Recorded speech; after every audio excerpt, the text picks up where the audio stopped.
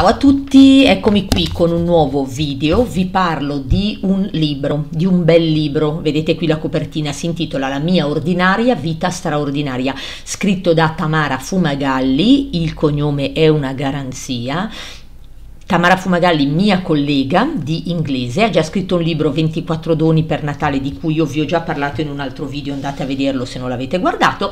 Adesso parliamo di questo. Allora, qui Tamara si racconta, Tamara si racconta, è lei, è lei, tutto quello che eh, leggerete mh, mm, è tutto vero, anche se uno potrebbe pensare ma figurati, no no no no no, è proprio così. allora, Tamara qui racconta della sua vita ordinaria, cioè normale di tutti i giorni che però diventa una vita straordinaria per il modo in cui lei la affronta. Eh, perché lei obbligata sulla sedia a rotelle sul mobility elettrico a causa della sclerosi multipla non vuole lasciarsi mancare niente vuole continuare a vivere come viveva prima quando riusciva ancora a camminare sulle sue gambe.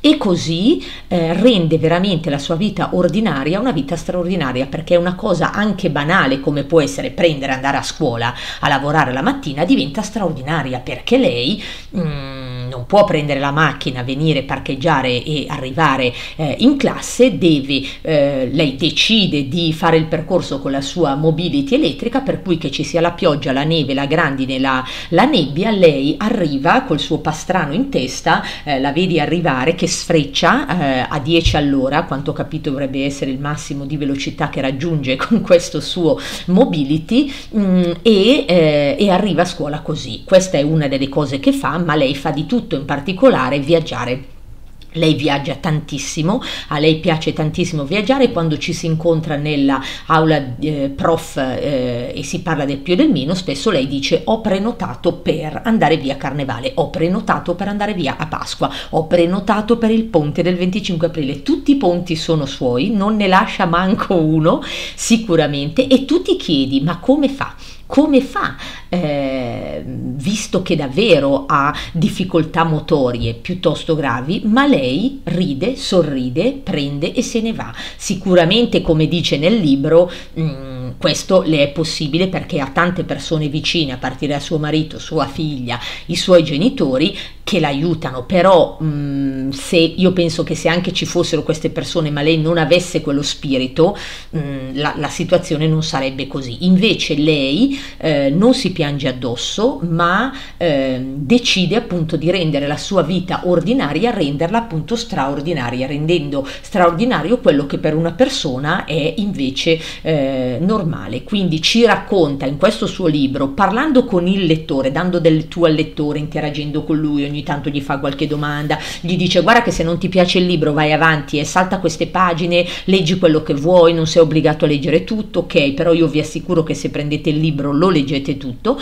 Mm, ecco, lei dialogando col lettore racconta la sua vita, anche non in ordine cronologico, racconta alcuni episodi, alcuni sprazzi di vita, dove tra l'altro ne combina di cotte e di crude e eh, quando voi vi chiederete ma no, no, è impossibile che abbia fatto sta cosa, l'ha fatta, l'ha fatta, no, no, no, no, l'ha fatta, fidatevi. e ci racconta in modo veramente anche divertente, molto leggero, eh, questa sua vita, entrando anche eh, in particolari molto personali che però ci fanno veramente capire eh, chi è Tamara. E la cosa bella, secondo me, veramente è il messaggio che lei lancia a tutti, eh, sia quelli che magari si trovano nelle sue condizioni, ma secondo me a tutti, quelli che magari invece di problemi fisici non ne hanno, però magari ne hanno altri, peggio, però fa niente. Eh, il messaggio è quello veramente eh, prendete la vita come viene e cercate di viverla al meglio, anche se incontrate dei problemi, cercate di in tutti i modi di superarli e di dare il meglio per non piangervi addosso, ma eh, fare di tutto appunto per affrontare la vita in un certo modo. È logico che anche lei, come dice nel suo libro, ha dei momenti di scoramento, di tristezza, dei momenti dove si mette a piangere perché mh, mm, è normale che sia così, però dice io cerco di fare di tutto per eh, per affrontare a, te, a, testa testa alta questa, eh, questa sua situazione. Quindi parla veramente dei momenti belli, anche dei momenti tristi, dei momenti in cui non ha voglia di fare eh, la fisioterapia tutti i giorni perché diventa mh, mm, davvero faticoso compiere sempre gli stessi movimenti, eccetera. Eh, però ci fa veramente entrare nella sua vita, ma ci dà una carica perché quando tu finisci di leggere il libro dici davvero se ce la fa lei, se lei affronta la vita col sorriso e allora perché non lo dovrei fare io? Vi leggo un pezzettino e poi chiudo il video. Io l'ho detto che l'avrei letto, quindi spoilerò un pezzettino, ma lei è d'accordo è il pezzettino che mi ha eh, emozionato di più, è quello in cui siamo a pagina 69, lei racconta il momento in cui ha preso con certezza di avere la sclerosi multipla, perché prima gliel'avevano ventilata questa cosa, a un certo punto com- fa degli, degli, esami specifici, arriva il dottore e eh, le dice guarda che mh, mm, è effettivamente sclerosi multipla. Eh, non vi leggo il prezzo precedente, però dove lei dice che era ricoverata in ospedale con tre ehm, compagne in camera tutti e tre eh, con un tumore anche grave eh, che non si sapeva mh, mm, se, si poteva, eh, se poteva essere guarito, se poteva essere curabile o meno, e diceva che sentiva una di queste donne piangere tutte le notti proprio per questa situazione. Allora, in questa situazione lei racconta il mattino del 9 settembre mi hanno convocata in sala prelievi liquor dove doveva fare appunto questo esame particolare. Devo ammettere che il medico è stato bravissimo, non ho sentito nulla. Trascorsi dieci minuti ero già in camera, assolutamente confinata nel letto con l'ordine di non muovermi e di nemmeno girare troppo la testa. Nel tardo pomeriggio è ricomparso il dottore, l'esito del prelievo era arrivato e con lui la diagnosi. Ricordo che il medico si è avvicinato al letto e guardando un po' me e un po' mia mamma, che aveva insistito per passare quella giornata con me, ha esordito con queste parole. Purtroppo dobbiamo confermare la diagnosi di sclerosi multipla. Ho avuto due pensieri immediati, non so dire quale sia arrivato prima e quale sia arrivato dopo. Uno sicuramente era il pensare a mia madre. Non doveva essere stato bello sentirsi dire una cosa simile riguardo a sua figlia e poi doverlo riferire a mio papà e a mio fratello. Ricordo ancora la stretta allo stomaco e il dolore che ho provato pensando a come si dovesse essere sentita. L'altro pensiero è stato il sollievo. Non era nulla di incurabile, era solamente qualcosa di inguaribile, ma niente a che vedere con ciò che stavano vivendo le mie compagne di stanza.